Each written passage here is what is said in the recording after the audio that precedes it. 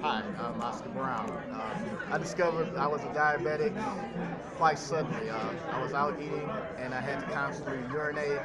And in order to try and cure the diabetes, I drank Arizona iced tea, which has 45 carbs in it. And then I went to the hospital and I almost died. Uh, my blood sugar was at uh, 655 and uh, I almost went to a coma and died. However, I got to the hospital right on time, and uh, they filled me filled through it, started giving me insulin and metformin, and that's how I initially survived.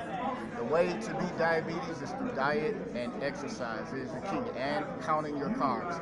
Try and limit your carbs to 60 per meal. If you do that and you exercise regularly every day, you can beat diabetes.